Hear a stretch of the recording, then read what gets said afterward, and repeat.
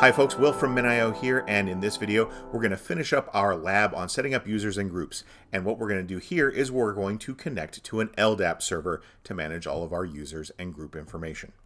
Let's go ahead and dive right in. So now that we've managed users and groups using MinIO IDP, let's change over and connect to an existing LDAP server. Now I already have an LDAP server running in my environment here. We're just going to connect to it. Let me show you though this Bootstrap LDIF.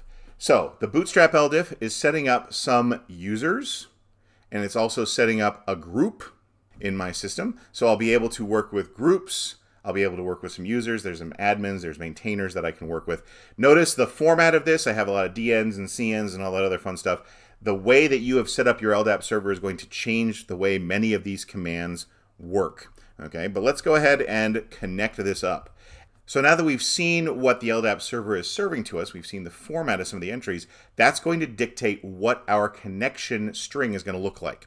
So let's go ahead and we'll dig into that. It's a very long command to stand up the connection between the MinIO and the LDAP server. So I'm going to go ahead and paste a big chunk of this, and then we will get into the details that you need to understand bit by bit.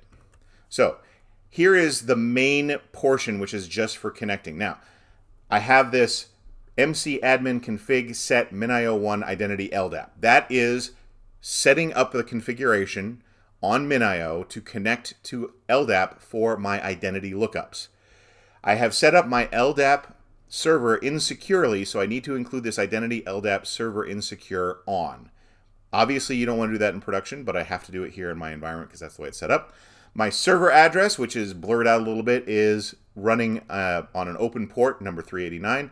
The key thing here is I have this lookup bind DN and lookup bind password. That is the user and password that I'm going to use to do my lookups. Now, I'm using the admin user, which probably also shouldn't be done in production. You're going to want to use a user that just has enough permissions to do lookups.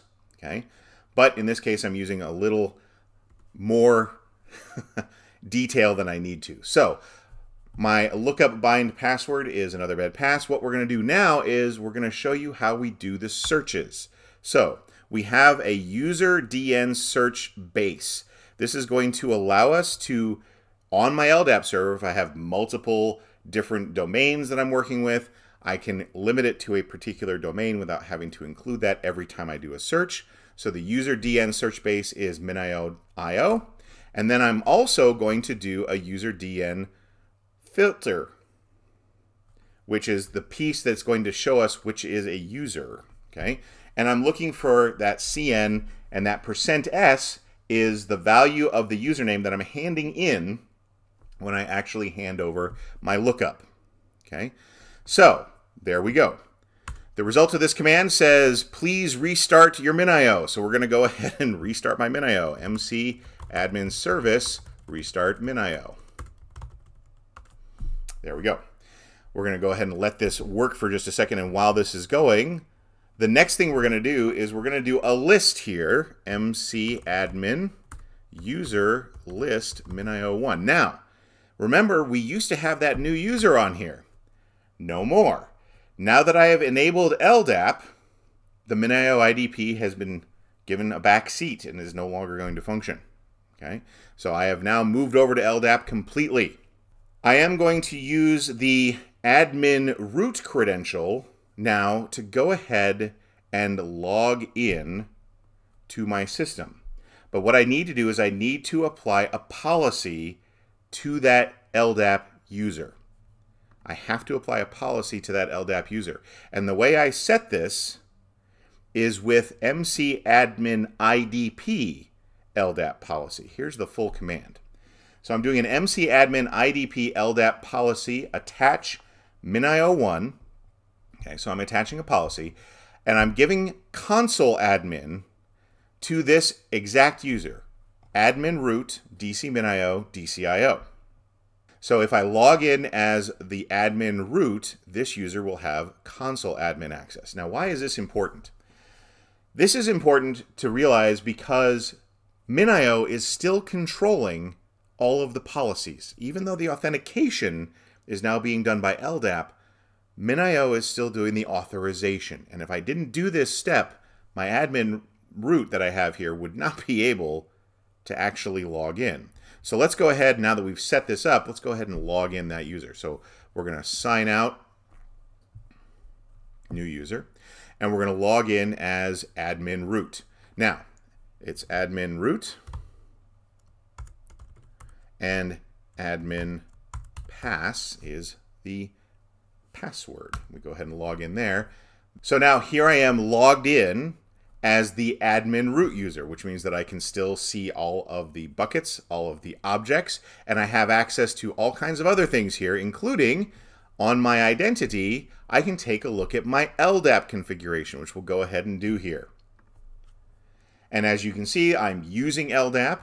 It is insecure, but I have this lookup bind DN, I have a lookup search base DN, I have all this information is available to me. Now, again, this is available to me as the admin root, because I have set up the admin root user from LDAP as a console admin.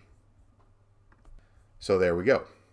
And that is the console admin policy. It allows basically everything. So let's go ahead and change this up a little bit. So now we've set this policy against this single user. And again, we're back to the same problem of, well, now we're setting policies on a user by user basis. What I really want to do is I again want to set this based on groups. But ideally, I should be getting the group info from LDAP as well. Now, the way I have set this up so far is just user searches. If I want to do group searches, there's a second piece that I need to actually add to my configuration. And I'm going to go ahead and paste this in here because, again, it's a very long command.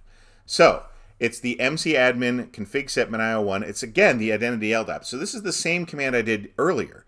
But now I am just focused on my group search filter, which looks up my unique member based on the complete ID, that is admin root DC minio DCIO. It'll look up based on that entire thing. It'll look up in the group of unique names for the object class as well. And again, I am focusing on MinIO, and IO as my group search base DN. So if I go ahead and run this, guess what? It's going to ask me to restart the service again. So mc admin service restart MinIO1. Okay. We'll go ahead and let that restart. There we go. Now, what we want to do is we're going to map that maintainers group that we saw in our LDAP. We're going to map that to the read-write policy. Similar command to what we saw before, mc admin idp ldap policy attach, minio1, but we're going to use read write, and we're going to attach it to this group which we get from LDAP. Okay, we're going to use the maintainers group. So now we've attached that policy to the maintainer group as well. What we're going to do is we're going to now go back to the console and we're going to try to log in as one of the maintainers. So let's go ahead and sign out. And one of the maintainers we have is named developer. And his password is developer pass. It's a pretty simple password. Now, what do we see? A lot of the administrator tools are now gone, but I can see my bucket. I can see my objects because I'm using read write. I can list my buckets and I can also do a watch on my buckets. But this is a much more limited amount of functions than we had for the admin user. The last thing I want to do is I want to do a user list on MinIO1 one more time. MC admin user list MinIO1. What do we see? We see one user. This one user is my LDAP admin root. My new user is not here. My developer is not here. The other user that we had in the maintainers group, maintainer, is not here the only user that I have explicitly given any kind of permissions to is this admin root, and it has console admin permissions. And that is the end of our lab. I hope you've enjoyed this video. If you'd like to reach out with us, you can use any of the methods you see here on the screen. You can chat with us interactively on slack.min.io or just leave a comment here on the video. Thanks, and we'll see you for the next one.